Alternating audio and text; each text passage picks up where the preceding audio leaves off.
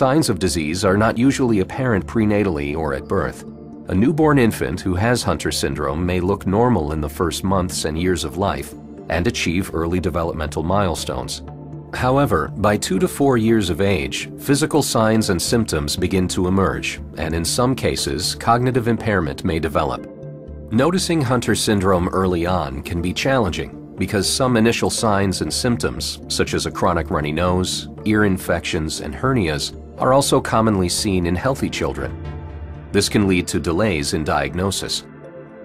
The earliest visible signs of Hunter syndrome may be unusual facial features, an enlarged abdomen, and an enlarged tongue and tonsils. Notable facial features are a broad nose with flared nostrils, a prominent brow, thick lips and large jowls, and a large head. The abdomen appears swollen or distended due to an enlarged liver and spleen.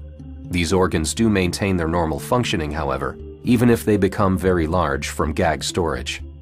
Hernias are commonly seen. Umbilical hernias, which cause a bulge near the navel, are the most common type. Inguinal hernias in the groin are also sometimes seen. In the respiratory tract, airway obstruction is a common symptom. The windpipe or trachea may be narrow or abnormally shaped, and the tongue, tonsils, and adenoids may be enlarged. Upper respiratory infections, pneumonia, and thick nasal secretions are common.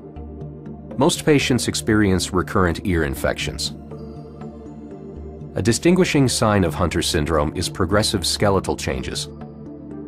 The joints become stiffer and limited range of motion is common.